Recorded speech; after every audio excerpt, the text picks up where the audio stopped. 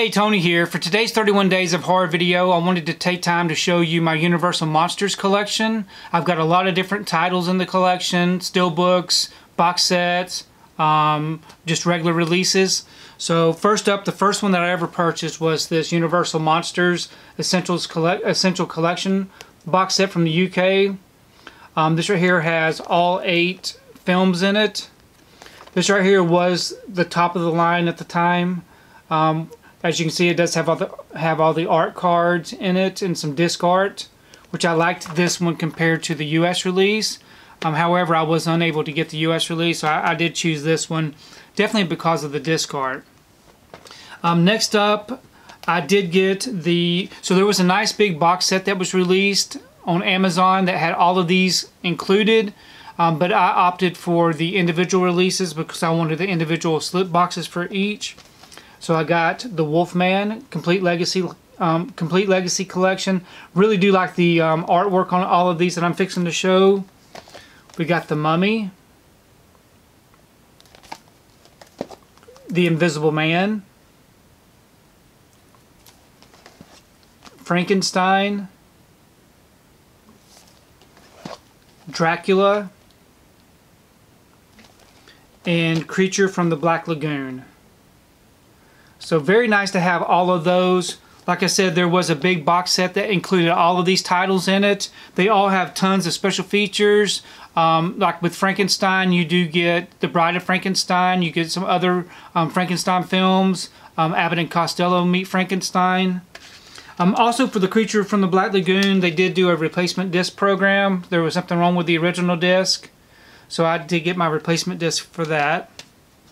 So for some steelbooks, I got The Mummy with this um, slip box from the UK. This was unavailable here in the US, so I picked that one up.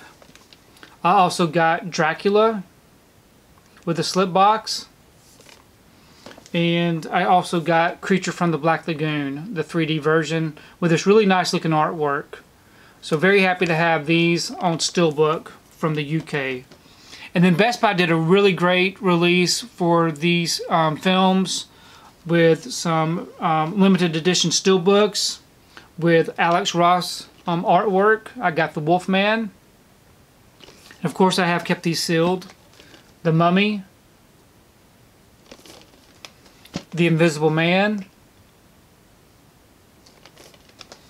Frankenstein. Dracula. Creature from the Black Lagoon, and The Bride of Frankenstein. Really beautiful looking artwork. I mean, if you can just see that, it's amazing looking. And then um, recently I did pick up the 4K release um, of these, some of these films. We have um, The Invisible Man, The Wolf Man, Frankenstein,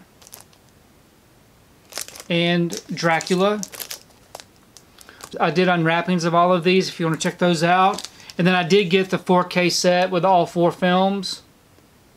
So very nice to have these on 4K. I do hope that they will go ahead and release all of the other ones the same way, which would be really nice if they would do that. And then I do have some slipcover editions. I got the Wolfman um, with the black and white with the red lettering. Phantom of the Opera, The Mummy, The Invisible Man,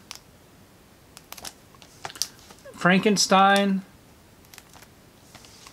Dracula, Creature from the Black Lagoon, and The Bride of Frankenstein. And then they also released these with some glow-in-the-dark slips. I got The Mummy, the Bride of Frankenstein, Creature from the Black Lagoon, Dracula, Frankenstein, The Invisible Man,